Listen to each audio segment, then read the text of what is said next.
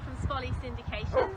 Um, look, uh, it is actually September the 1st. We started running the newsletters for the puppies yesterday, but we got put off um, due to bad weather, and it's been a bit like that all week here this week. But anyhow, I'm here with Willow, one of our Lesbian Gem puppies, who's seven months old. She went to Banjo Boy, and she's doing really well. We're really happy with her. Um, yesterday, she went up and down the straight track after the drag lure. Unfortunately, we didn't get any video because we had to stop because of the rain.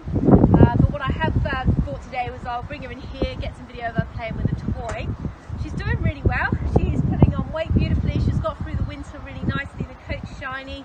The little insulated houses have kept them nice and warm. Um, and everything's on, on track for a seven-month-old pup. She's on the lead fine. Uh, always very excited to see us when we start feeding her um, and enjoying some free time in the run.